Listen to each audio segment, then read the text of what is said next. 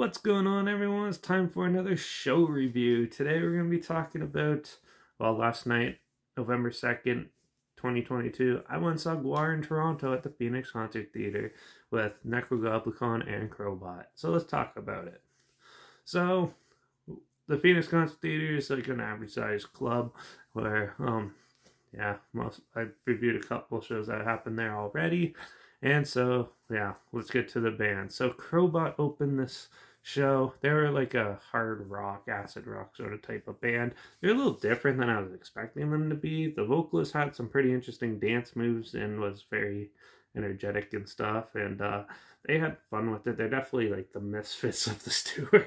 and uh, yeah, but they, uh, they had some interesting groove sort of like riffs and things like that and uh, overall they were entertaining to watch. It wasn't really my type of music but it was still an amusing watch and definitely something different uh, than i was expecting. So um, i thought they were okay as a band. Uh, it wasn't too much. They only played for like a half hour so it wasn't too bad. So i'm going to give crobot a two and a half out of five. Uh, then there's Nekrogoblikon they're a weird, almost djenty metalcore type band. They had some slower songs, some heavy songs, a good variety, and uh, they they're definitely a bunch of misfits up there playing. And uh, yeah, they have their iconic John the Goblin up there dancing and acting silly and stuff. Uh, one of the best songs is I think it's I think it's called Just but Just Like Goblins, which is a really heavy pummeling song, and I really enjoyed that one.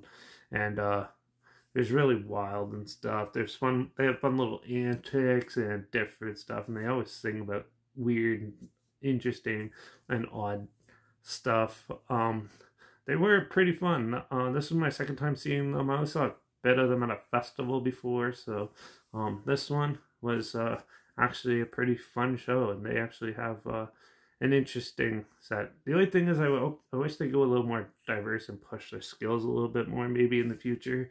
But uh, for the most part, they're still an entertaining act. So I'm gonna give Nekrogoblikon a three and a half out of five. And then GWAR headlined, obviously. They're that space age uh, one. This is the third time I've seen GWAR this year. and, uh, yeah, so um, but uh, they're uh, basically a band. I think they're actually originally from Indiana, but uh, they're aliens from another planet stuck on Earth, and they uh, play music to get a, pass the time and stuff, and kill people and things. They have a whole theatrical stuff going on. They tons of fake blood and decapitations and all that, and a lot of good stuff. They had Putin. They killed off Putin. They killed off um, Trump and Biden and the, all those guys, and uh, they had a lot of fun um, doing it too. Uh, there's a like I said, there's a lot of blood. There's a lot of big monsters and stuff that come out as well. They had their iconic big monster from another dimension and stuff. Um, it wasn't as crazy as the first time I saw GWAR. That was a wild show way back in like I think it was like 2016 or something. I saw them with Ghoul, and that was probably the best GWAR show I seen.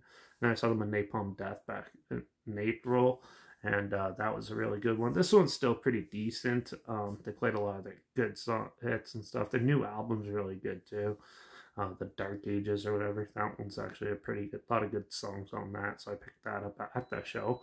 And overall, it was a lot of fun. Um, to what you'd expect from GWAR and uh, it was quite the one. And they definitely had some ragers this time, like a lot of heavy stuff. And that they didn't really play very much of the classic stuff off of like America Must Be Destroyed, which is my favorite GWAR album, but um, it was still a lot of fun. So I'm gonna give GWAR a four and a half out of five. So overall, the whole show is about a four out of five, I'd say, and it was a lot more fun than I was expecting. So yeah, definitely check out all the bands I just talked about. Um, they'll all be linked down below. And also make sure you check out my Instagram and TikTok that's linked down below. That's where I have pictures and videos of all the bands and stuff on there. So make sure you check that out. Follow me on there and like like everything. And I, yeah, don't forget to subscribe for more concert reviews and other things. And uh, like this video. And um, yeah, but that's it for this one.